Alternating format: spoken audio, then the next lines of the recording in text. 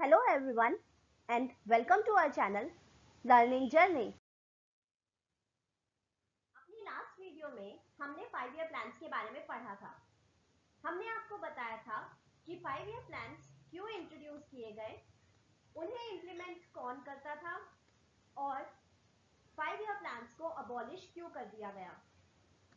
Last video में हम already first six five year plans के बारे में पढ़ चुके हैं। आज हम अपने last six five year plans को कवर करेंगे। So without any delay let's start the video video में आगे बढ़ने से पहले, अगर आपने अब तक हमारे चैनल को सब्सक्राइब नहीं किया है तो इसे अभी सब्सक्राइब करें और बेल आइकन को प्रेस करें, ताकि हमारी सारी वीडियोस के अपडेट सबसे पहले मिले। चलिए, अब हम अपनी वीडियो की शुरुआत करते हैं। Year plan seven five year plan के टाइम पर हमारे प्राइम मिनिस्टर थे राजीव गांधी। इस प्लान का मेन स्ट्रेस था ऑन टेक्नोलॉजी अपग्रेडेशन ताकि इंडस्ट्रीज़ में प्रोडक्शन लेवल को बढ़ाया जा सके। इस प्लान में एग्रीकल्चर के स्टडी ग्रोथ पर फोकस किया गया और रेट ऑफ़ इन्फ्लेशन को भी कंट्रोल करने पर स्ट्रेस दिया गया।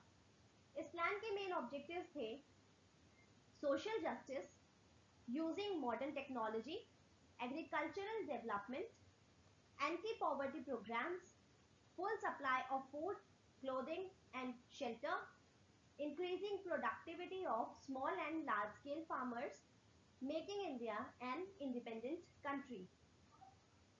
Seven five year plan के टाइम पीरियड में इंडिया सोशलिज्म और एनर्जी प्रोडक्शन की तरफ़ टिल्टेड हुआ इस प्लान में इंडिया का सेल्फ सस्टेन इकोनॉमी बनाने के लिए एफर्ट्स किए गए। इस प्लान का टारगेटेड ग्रोथ रेट था 5 percent but actual growth rate was 6 percent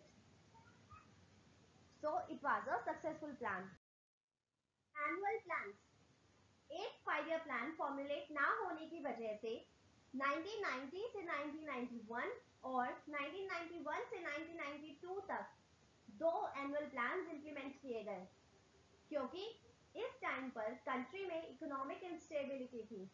Hence five year plan implement नहीं हो पाए। फाइनली इन 1992 एक फाइव ईयर प्लान इंप्लीमेंट किया गया by the then prime minister P V Narasimha Rao इसी के साथ लिबरलाइजेशन प्राइवेटाइजेशन एंड ग्लोबलाइजेशन की भी शुरुआत हुई, जिसे शॉर्ट में एलपीजी भी कहा जाता है। इसी दौरान इंडिया डब्ल्यू यानी वर्ल्ड ट्रेड ऑर्गेनाइजेशन का मेंबर भी बना ऑन 1 जनवरी 1995 इस प्लान के मेन ऑब्जेक्टिव्स थे controlling population growth poverty reduction employment generation tourism management involvement of Panchayati Raj Nagarpalika and NGOs, decentralization and people's participation. इस प्लान का टारगेट ग्रोथ रेट 5.6 परसेंट था but actual growth rate 6.8 percent हुआ. So it was also a successful plan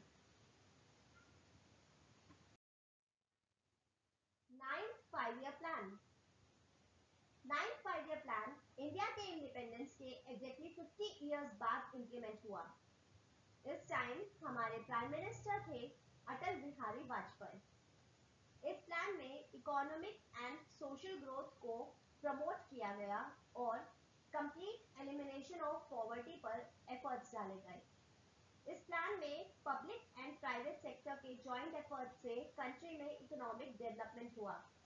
इसी plan में special action plan भी evolve हुए to fulfil targets within short time and adequate resources. Special action plans में social infrastructure, agriculture, IIT and water policy जैसे areas covered थे इस plan का prime focus था कंट्री में ग्रोथ को इंक्रीज करना with special emphasis on social justice and equity इस प्लान के बहुत सारे ऑब्जेक्टिव्स थे to name a few, we can say generating employment by giving priority to agriculture and rural development, primary education to all children in the country, empowering the socially disadvantaged classes like scheduled castes, scheduled tribes and other backward classes, acceleration in the growth rate of economy with the help of stable prices.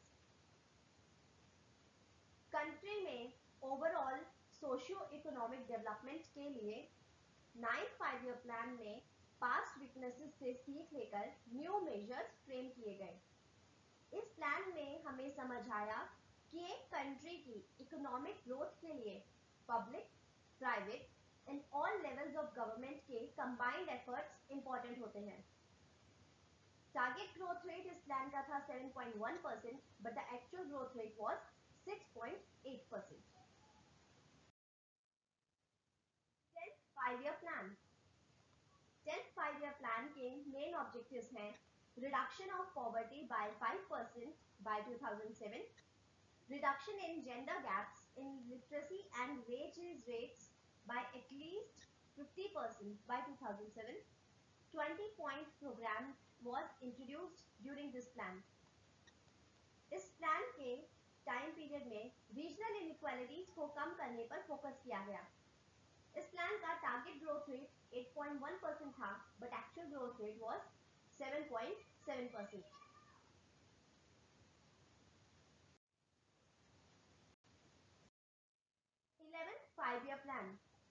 eleventh five year plan के time पर हमारे prime minister थे मनमोहन सिंह।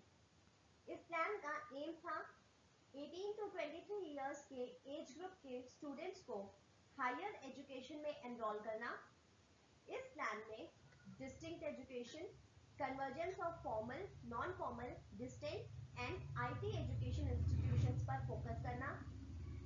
इस plan के main objectives थे rapid and inclusive growth environmental sustainability providing clean drinking water for all इस plan के time period में कुछ स्कीम स्कीम्स इंट्रोड्यूस की गई थी। नंबर वन आम आदमी बीमा योजना। ऑन सेकेंड अक्टूबर 2007 प्रधानमंत्री Adarsh Gram Yojana on 2009 to 2010 and Rajiv Awas Yojana इन 2009 इस प्लान का टारगेट ग्रोथ रेट था 9 percent but actual growth rate was 7.9 percent twelfth five year plan twelfth five year plan हमारा लास्ट फाइव ईयर प्लान था। इस प्लान की थीम थी faster more inclusive and sustainable growth इस plan में government poverty को 10 percent तक reduce करना चाहती थी। इस प्लान का एम था इंफ्रास्ट्रक्चरल प्रोजेक्ट्स को बेटर बनाना।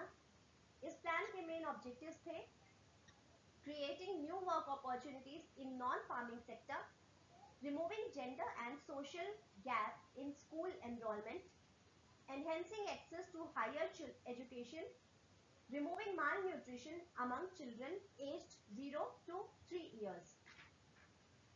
इस प्लान का मेन फोकस था on health education employment and skill development after 12 five year plan the then government abolished planning commission इसीलिए 2017 के बाद कोई भी फॉर्मल प्लान नहीं बनाया गया लेकिन five year defence plan defence plans continue रहे। फाइव ईयर डिफेंस प्लान्स का लेटेस्ट प्लान 2017 से 2022 का है। प्लानिंग को कमीशन को अबॉलिश करके उसकी जगह नीति आयोग को दे दी गई और इसे एक थिंक टैंक बनाया गया, जो गवर्नमेंट को सिर्फ़ एडवाइस कर सकता है विद दिस हमारा फाइव ईयर प्लान का कॉन्सेप्ट फिनिश हो गया आई होप आपको ये कॉन्सेप्ट समझ आ गया होगा if you still have any doubt feel free to ask in the comment section We will be back with the next video soon. Till then, stay safe, stay tuned and keep watching our video. Please like and share the video and subscribe to our channel. Thank you.